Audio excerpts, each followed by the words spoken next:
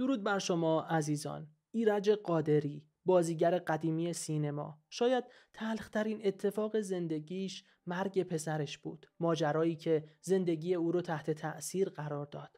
سرنوشت آقای ایرج قادری بازیگر قدیمی چی شد؟ علت فوتشون دقیقا چی بود؟ در ادامه خواهیم شنید. ایرج قادری فرزندی به نام تورج داشت. فاجعه ای برای تورج رخ داد. که به قول تحمینه اطمینان مقدم که همسر ایرج قادری هستند باعث شد این اتفاق کمر ایرج رو بشکنه و ایرج قادری تا چندین سال لباس مشکی به تن کرد. مرگ تورج کوهی از درد بود که همیشه روی شونه های ایرج قرار داشت. هر وقت اسم پسرش میومد اشک در چشمانش حلقه میبست. ایرج قادری درباره روز درگذشته پسرشون گفتن با تحمینه همسرم در دفترم بودیم. تلفنم زنگ زد.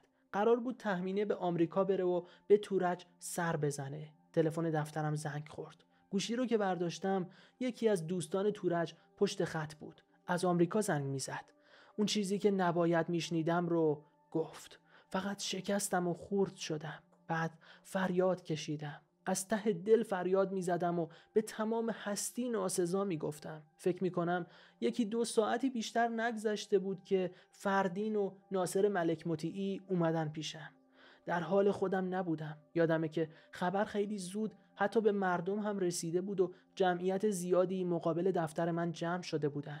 تحمینه اطمینان مقدم همسر ایرج قادری درباره این اتفاق تلخ و غمانگیز گفتن فوت پسرم کمر ایرج رو شکست. بزرگترین ضربه زندگی من و همسرم ایرج بود. من به طور کلی آدم مقاومی هستم. هیچ کسی در ختم مادرم، پدرم و حتی برادر جوونم گریه و اشک منو ندید. فقط فوت پسرم بود که ضربه بزرگی به من زد.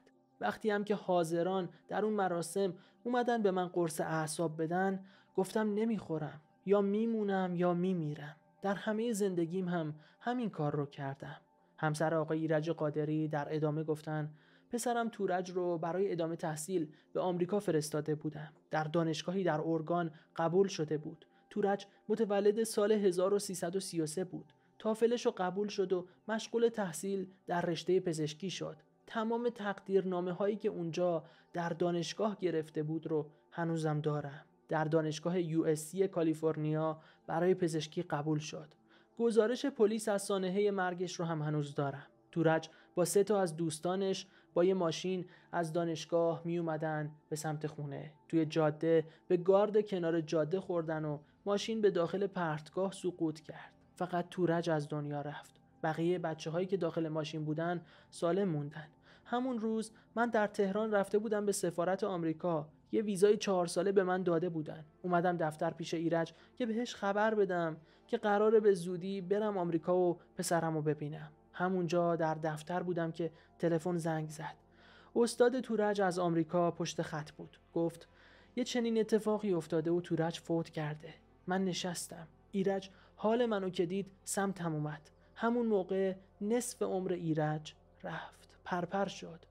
ایرج از این اتفاق به بعد وابستگیش به من چندین برابر شد. تو حدی که دیگه بیشتر مثل بچم دوستش داشتم تا اینکه بگم شوهرمه. اون سالها بیشتر به ایرج سخت گذشت. چون در اون دوران از هم فاصله داشتیم. ما از هم طلاق هم گرفته بودیم اما دوباره ازدواج کردیم. طول کشید تا زندگی مشترکمون به طور کامل مثل قبل بشه. هفته ای سه چهار روز با هم بودیم. اما یه مدتی زمان برد تا قبول کنم.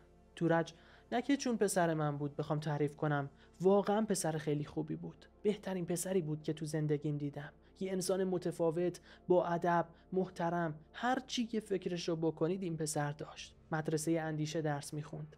تمام نشونهای ورزش و تقدیرنامه های مختلفی که از مدرسه گرفته بود رو هنوزم دارم. نامه استادش در آمریکا رو اگر بخونید گریه می‌کنید. همه کارهای تدفینش در آمریکا رو همین استادش انجام داد. گفتم من جنازه بچم رو به ایران نمیارم. با ایرج رفتیم آمریکا و ایرج اونجا کنار قبر تورج دو تا قبر برای من و خودش خرید. اما ماجرای ازدواج آقای قادری چی بود؟ مخالفت خانواده ها، فرار همسرشون از خونه و همچنین دلیل فوت آقای قادری چی بود؟ قبل از اینکه بهش بپردازیم خیلی ازتون سپاسگزارم به خاطر لایک این ویدیو. لطفا روی دکمه subscribe هم کلیک کنید تا عضو کانال سرنوشت بشید. خیلی ممنونم. همسر آقای ایرج قادری گفتن ایرج متولد 21 فروردین 1313 بود و من متولد شهریور 1314 ایرج نزدیک 19 سالش بود و منم تقریبا 17 18 سالم بود. من و ایرج سال 1330 در خیابان باغشاه با هم آشنا شدیم. او دانشجوی رشته داروسازی بود. در داروخونه برادرش کار می‌کرد. وزارت دارایی به کارمنداش در باغشاه زمین داده بود و پدر من زمین ها رو می ساخت اینطوری شد که ما توی این خیابون رفت و آمد داشتیم. به داروخونه ها می رفتیم مادر و خاله های منم فرهنگی بودن. اونا روزهای مشخصی رو برای مولوی خانی و سعدی خانی اختصاص می‌دادن. منم که از کودکی پیگیر ادبیات بودم و خیلی دوستش داشتم همیشه توی این مراسم شرکت می کردم.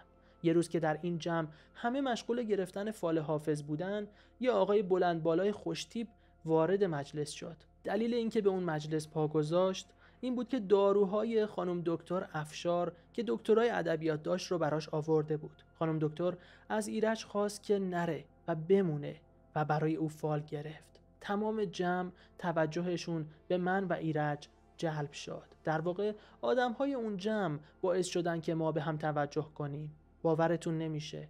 شاید من اون موقع فقط یک نگاه به ایرج کردم. در واقع جلسه شعرخانی شروع یه ارتباط پاک بین من و شوهرم ایرج بود. البته ارتباط که میگم منظورم اینه که مثلا توی یه کوچه وقتی رد می شدم و ایرج هم از اون طرف می اومد ما زیر چشمی یه نگاهی به هم می کردیم یا اینکه من می‌رفتم داروخونه و می‌گفتم ببخشید آقا یه بسته آسپرین به من می‌دید.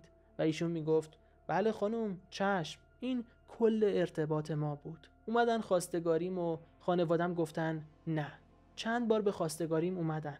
اما پدر و مادرم به شدت مخالف بودن. می‌گفتن دختر ما باید درس بخونه. خانواده ایرج هم ناراضی بودن. ما دیدیم خانواده ها مرتب به هم میگن نه. پس بله کجاست؟ فکر کردیم بیایم بله رو خودمون بگیم. تصمیم گرفتیم تحمل کنیم تا من 18 سالم بشه. می‌دونستم توی اون سن می‌تونم یه حرکتی بکنم. اون حرکتم این بود که از دیوار خونه بالا رفتم و فرار کردم. چون درهای خونه روی من قفل شده بود. من و ایرج رفتیم پیش روحانی محله. ماجرا رو براش گفتیم. گفتیم ما می‌خوایم زن و شوهر بشیم اما دیگران مانعن.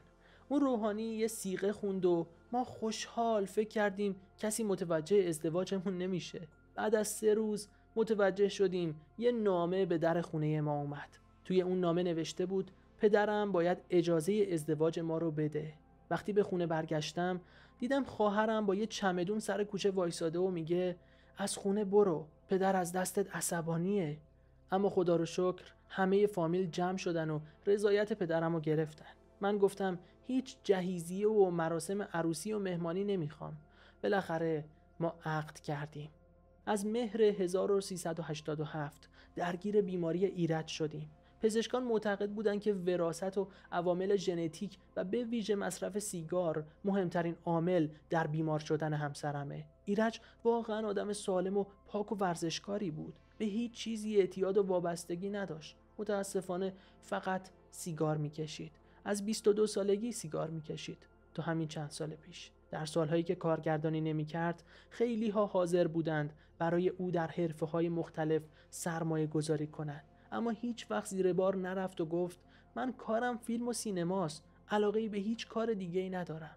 سیزده سال صبورانه تحمل کرد تا در نهایت اجازه کارگردانی در سینما بهش دادن و با ذوق فراوان مشغول ساخت فیلم شد. ایرج قادری در اردیبهشت 1391 به دلیل تشدید بیماری سرطان ریه در بیمارستان مهرداد بستری شد و به دلیل همین بیماری در ساعت چهار صبح 17 اردیبهشت ماه از دنیا رفت. خاک سپاریش در آرامگاه بهشت سکینه در کرج برگزار شد. طبق وصیت ایرج قادری تمام هزینه مراسم و یادبود او به مؤسسه حمایت از کودکان سرطانی اهدا شد. روح استاد بزرگ ایرج قادری عزیز شاد و یادشون گرامی لطفا شما بزرگواران هم یک جمله در وصف این هنرمند عزیز بنویسید اگه علاقه من هستید ویدیو مربوط به آشا مهرابی دلیل قهر چهل سالش با پدرش و اتفاقاتی که براش رخ داد رو تماشا کنید لطفا روی این تصویر کلیک کنید. سپاسگزارم از لطف شما عزیزان به خاطر لایک این ویدیو. مراقب خودتون باشید. بدرود.